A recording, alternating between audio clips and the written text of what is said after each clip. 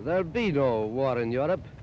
There can be no reason for any outbreak of hostilities among the great powers.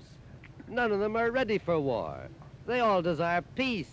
It's a mistaken view in America that Europe is always on the brink of another conflict. I do not expect any disturbance at all of first-rate importance for a long time to come.